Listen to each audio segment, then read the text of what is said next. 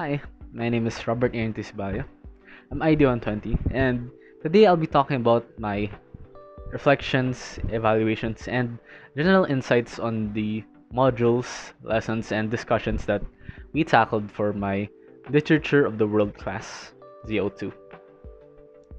And I'll be dividing this video into five parts. Parts 1, 2, and 3 will be dedicated to modules 1, 2, and 3. Module 1, National and the Global. Module 2, Colonial and then Post Colonial Present. And Module 3, my personal favorite, Roots and Routes. And then Part 4 will be outside of module takeaways. And then Part 5 would be the reflection of the lessons and then my learnings and then its application in my life and in the future. So, in each of these modules, I'll be giving my thoughts and then evaluations of the modules, and then I'll be giving away three takeaways from each module and outside the module using three materials within the modules. So let's start module one. Alright, so let's start off with module one, my takeaways from module one. So module one is national in the global. So the first reading that I, uh, the first material that I used for this was the reading by David Damrosch, uh, World Literature, National Context. So my main takeaway in this reading is that um, works, materials, uh, pieces like that, they become world literature as soon as they're received by a foreign country, a foreign place. So, for example, this this work right here by David Damrosch, um, it's considered world literature to us because it was written in a foreign country, and our country, Philippines, used it and integrated it into our educational systems right right now.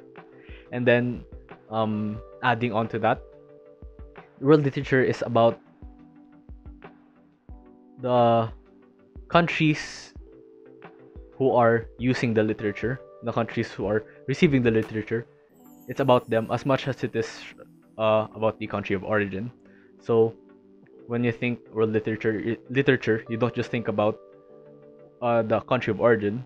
You think about what the country who received it is doing because in this example, as written in the reading, they could use the literature coming from the foreign lands in many different contexts. They could use it as a basis to improve themselves. So it could be used positively. They could use it as a way to learn, uh, so they could learn from it and then use it in a better light. But there's also, uh, it could also be used for self improvement in a more negative way, in a sense that this should not be what our goal is. Like, it could be more focused on doing anything else but that. So that could be the second way of receiving of how uh, literature could be received by those countries that are using literature from foreign lands. So following on to that, um, the next two materials that I'd like to tackle would be one reading and one short clip. So the first reading is well, it's a story. It's The Lottery by Shirley Jackson. And I'd like to focus on the concept of culture and tradition in this one because my takeaway would be mostly regarding that, and that would also be the um the takeaway that I would get after reading the story and then um when I'm when I connect it to the theme of the module. So the lottery the lottery is a pretty short story relative to other stories. It focuses on a, a small community, and then the story is really big.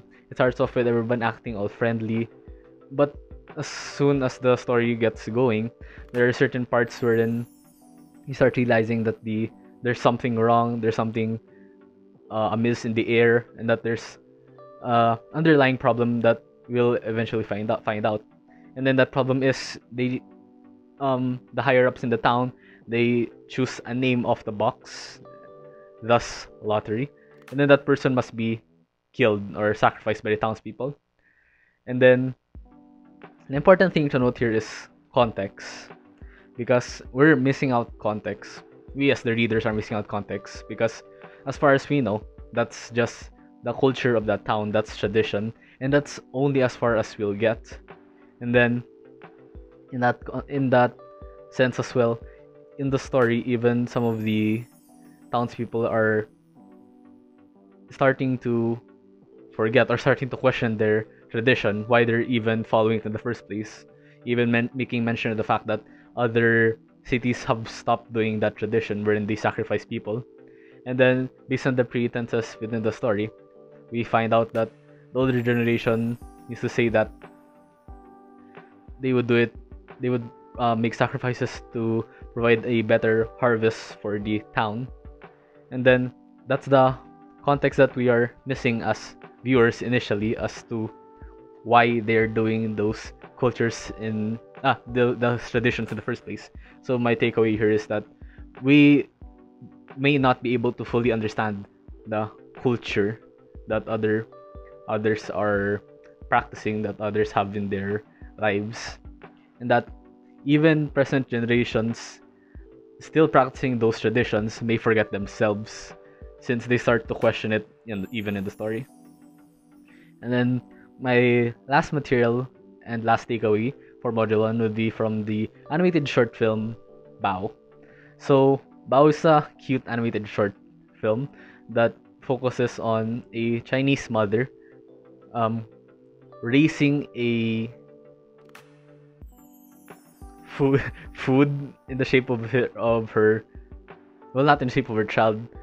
Uh it a dumpling there you go. A dumpling that reminds her of her child which we find out later on in the series is actually the representation or replacement of her child because her child like they had i'm not sure if they had the fight but there's a falling out that caused the child to leave the home and then find a a girlfriend or a fiance or a partner in general so my main theme on this one still related to module 1 is local identity which was mentioned in the um, module 1 introduction so local identity it refers to distinctive features that people have or maybe cultures have that makes them different. It can be either good or bad. But in this case, Bao, the mother was focusing on the bad because her son brought home a foreigner girlfriend, which her initial um her initial thoughts on about the girl are negative that she's a delinquent of some sort and that she'll take her son away from him uh, from her. But that's completely missing out on the local identity of the foreigner which we find out later on in the film is actually quite the opposite of what the mother envisioned so here also we'll also be making use of context because we don't know the context of the foreigner girlfriend at the start of the film. We're only basing it off what the mother knows and what the mother perceives the girl to be. And that would be my main takeaway for the third material of module 1 is that local identity it could be local identity uh, local identity is important and that we may interpret it differently, but at the end of the day, the foreigner has her own local identity that the mother completely misinterpreted. Okay, now moving onwards to Module 2, the colonial past and the post-colonial present. So, in this module, I'll also be giving three takeaways and insights taken from three materials that were included in the module.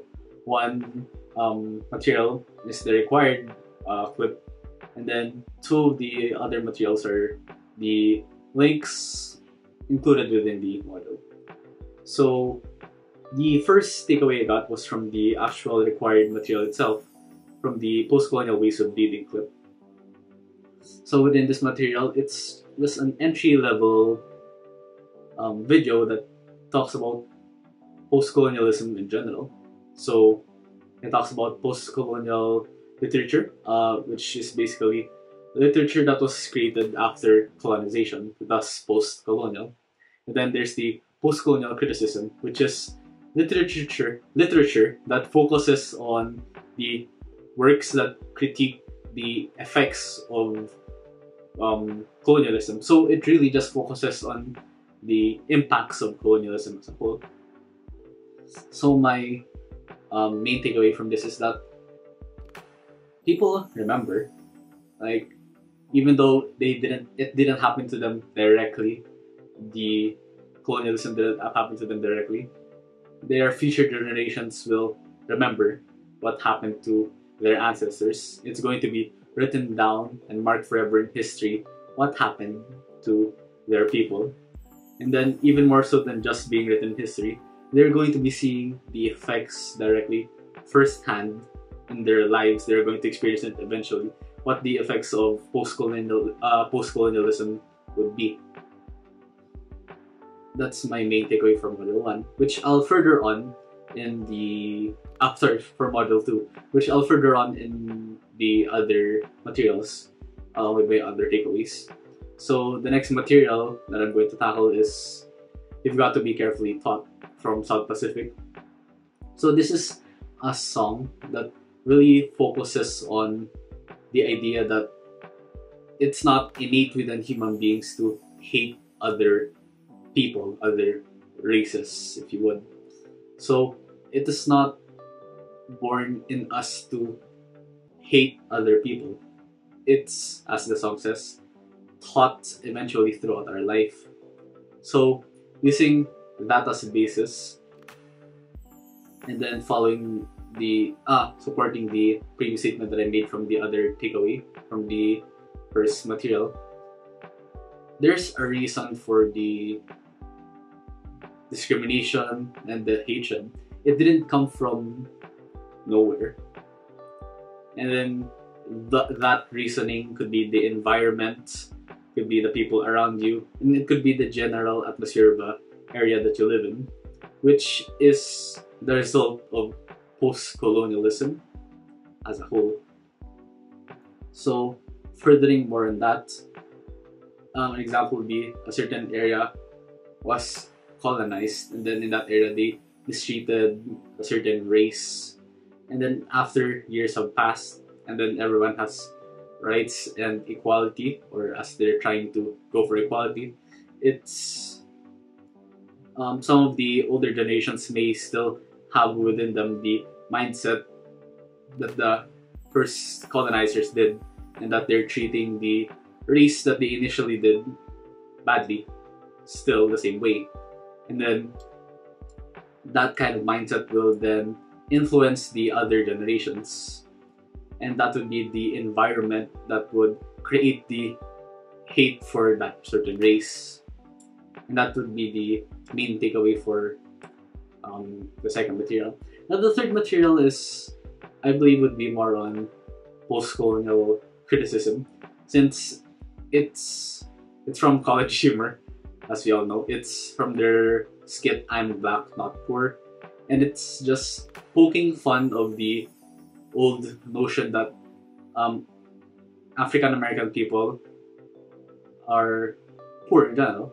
So there's the negative stigma surrounding, or there's a negative mindset that existed, especially during the time when this skit was created, that African American people are generally poor, which is no longer the case now. However, during that time, that was the stigma, and this um, clip made fun of that stigma. They, um, even though the main uh, subject, the African American, was saying that he had the same jobs as the his other coworkers, that he can contribute equally uh, the same way as them.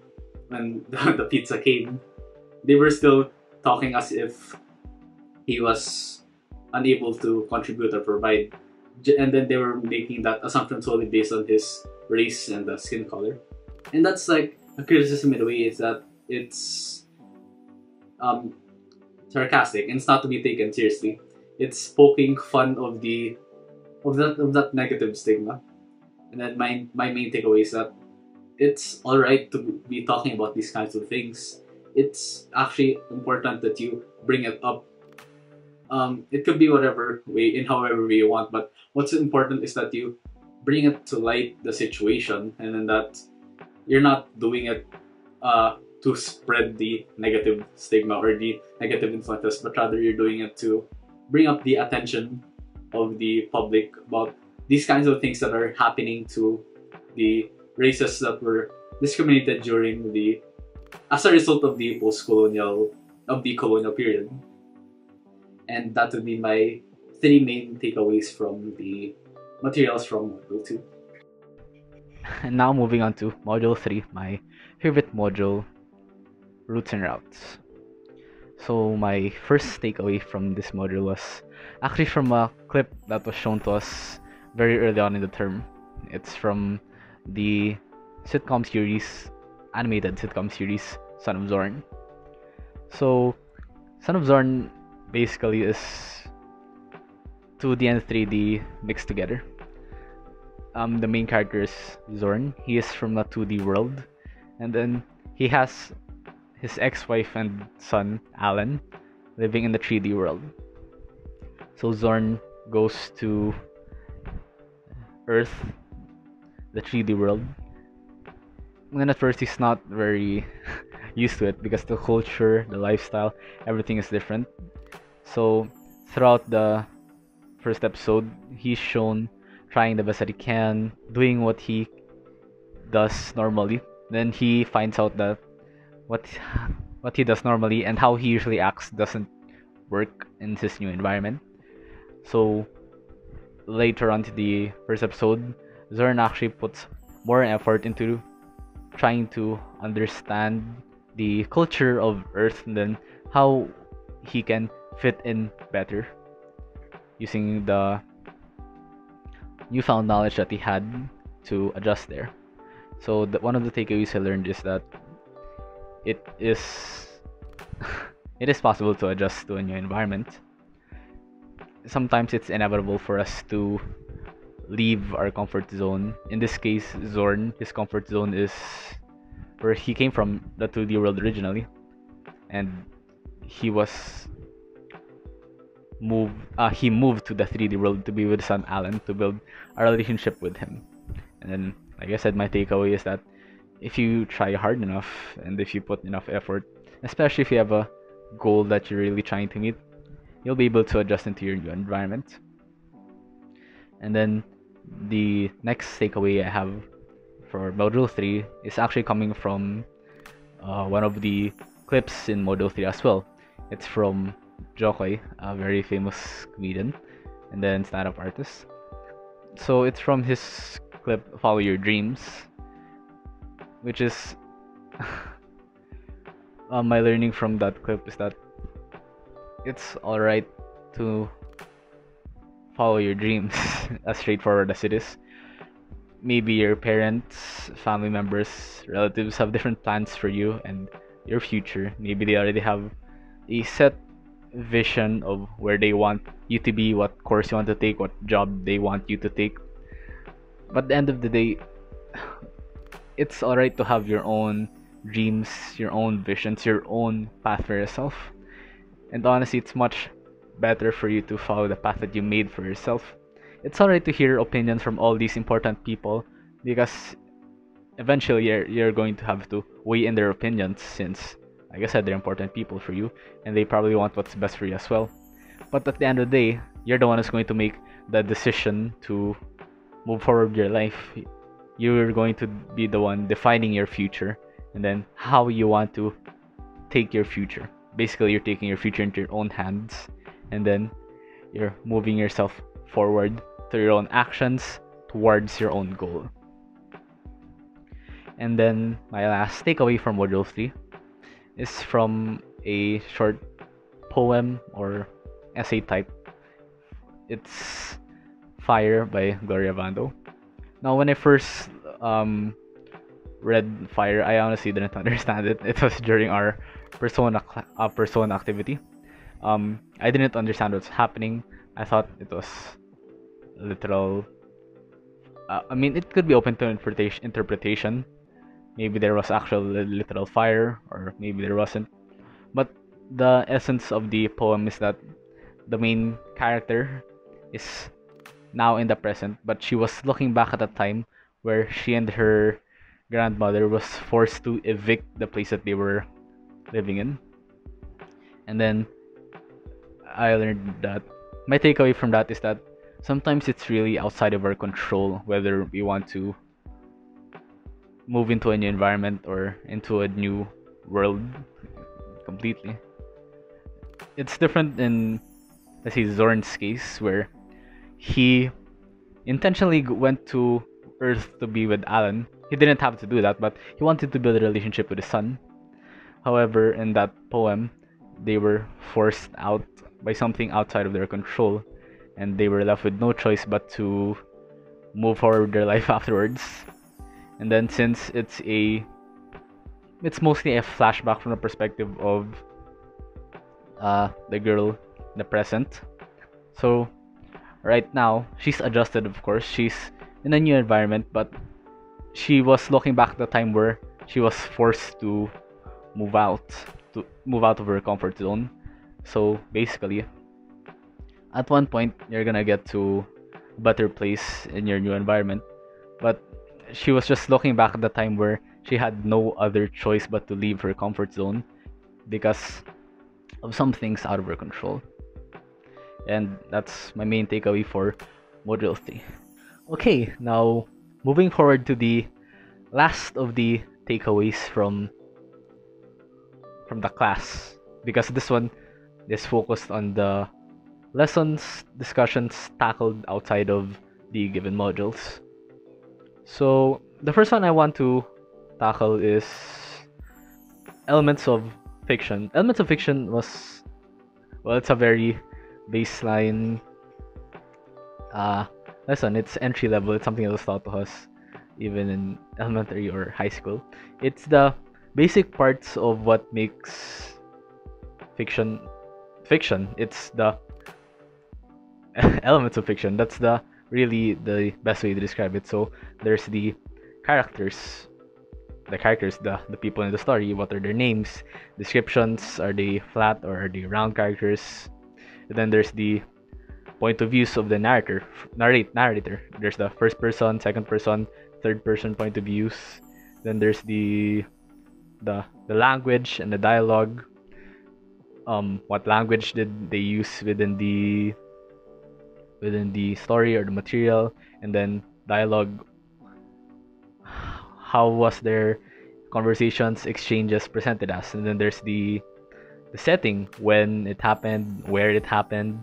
There's the plot like what kind of how was the material presented? Is it linear or is it non-linear? The best i can think of is linear just chronological order really baseline um, it's the the plot progressing that a lot of movies follow. Non-linear, the only one that I can think of right now is the movie Memento, which is a really good movie by the way. So Memento, it's an example of a non-linear movie because it starts from the back to the front, and then there's the the theme. The theme is the main idea behind the full material, why it was created, and what uh, lessons or morals it wants to present to its viewers. Then we get to the terms, the devices, and the styles. These are just the the terms that's used in fiction that's often used in fiction. So flash forward, a sneak forward and what happens in the future, flashback, uh, a sneak back at what happened already. Deus ex machina. Uh, situation was resolved suddenly and unexpectedly. Um, yeah, those are uh, certain terms that are used in fiction. Then finally, the structure. Structure is well, structure is one of the first things that you learn when they talk about stories. So that's the basic, the introduction to the story, the conflict, what point, uh, what makes the story have any essence, like what's the, what's what's really the problem.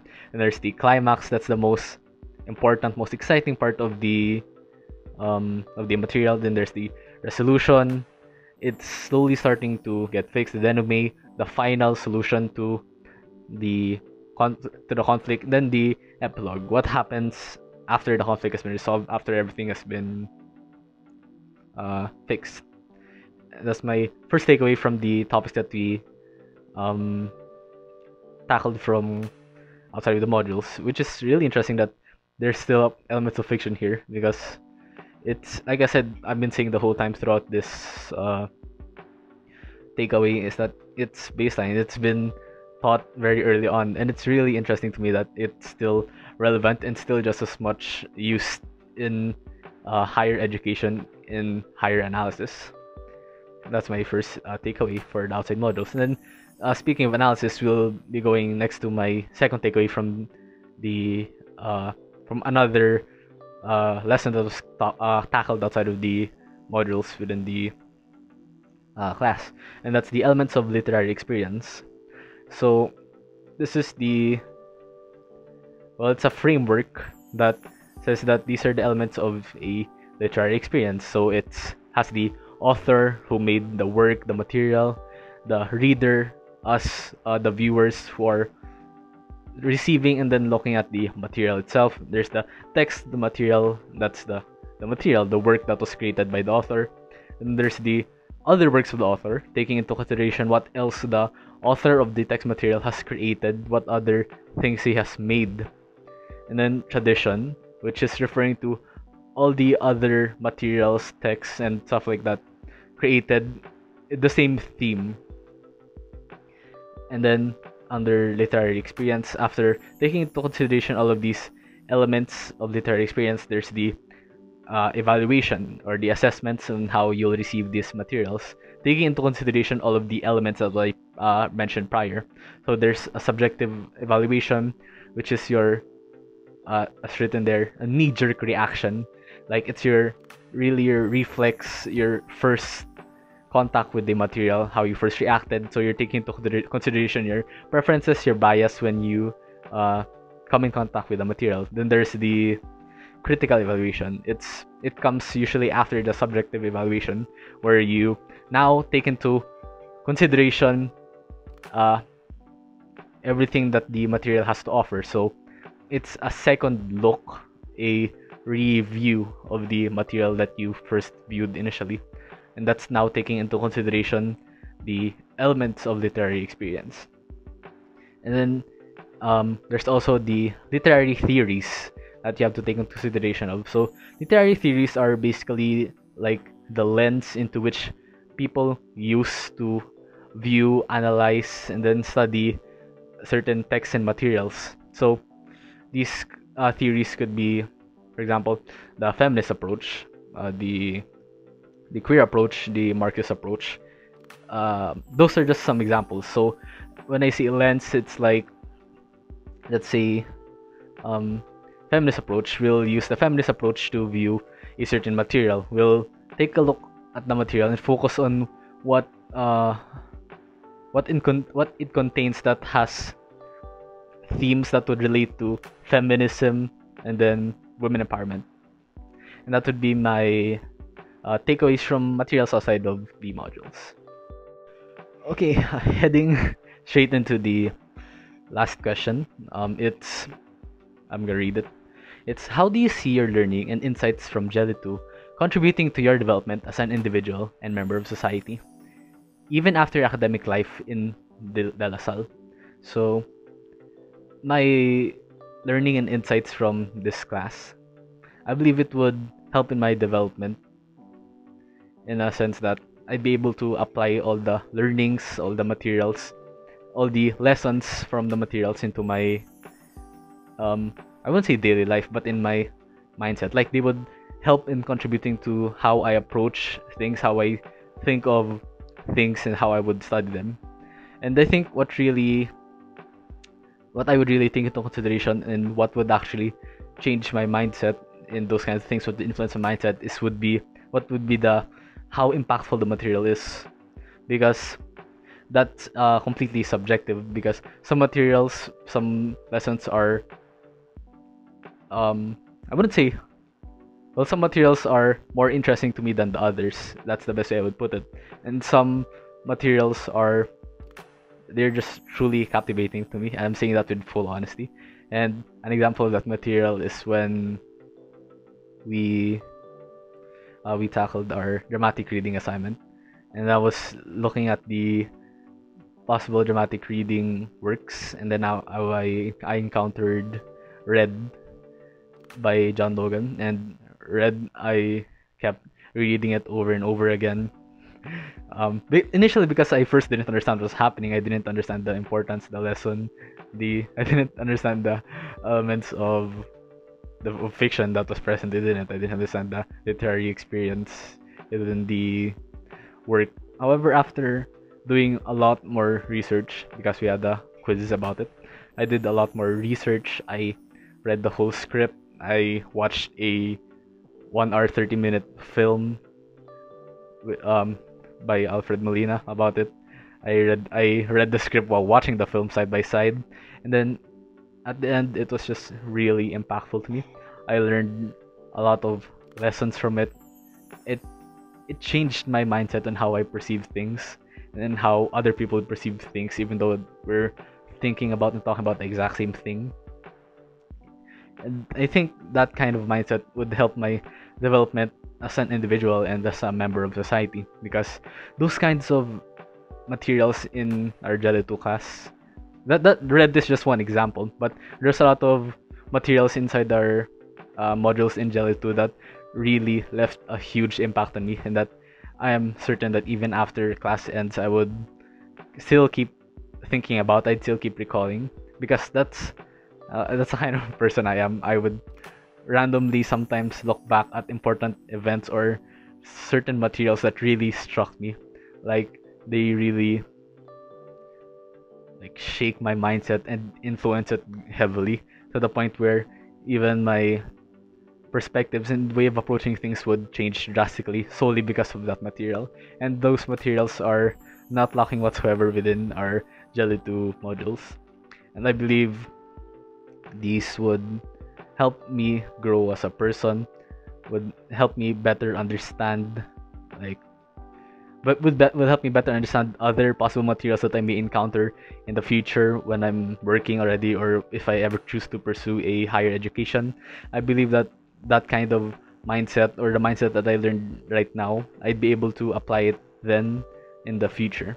And then the like as I said the materials I'd be able to do the exact same thing I'm doing to them right now, taking them in, not just reading them, but actually understanding them and applying them and taking into consideration what underlying themes, what pretenses are present within those materials. So to conclude my synthesis and video blog and to also give out my other insights that I want to share in general, I unexpectedly enjoyed our GELITWO class.